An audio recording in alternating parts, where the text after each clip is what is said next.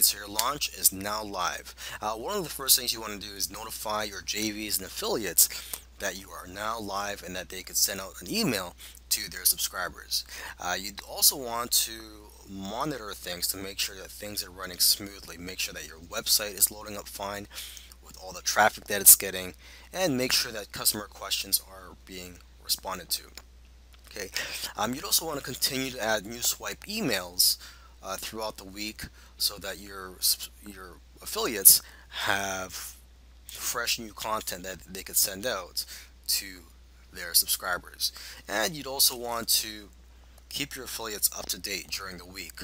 Uh, for example, you could give them uh, updates on the stats, for example, the earnings per click or EPCs.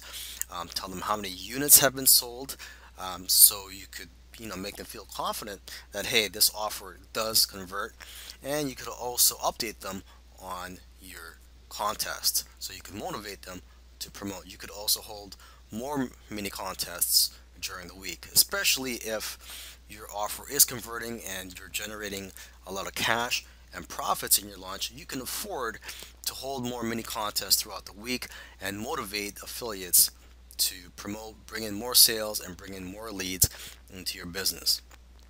Okay, you could also see how you can um, improve improve conversions and make your offer more profitable for affiliates. For example, you could tweak the headline, um, offer more bonuses on the sales page, or offer another upsell. All right, so basically, you know, you could you'll have all these excuses to um, contact your affiliates, motivate them to promote your launch.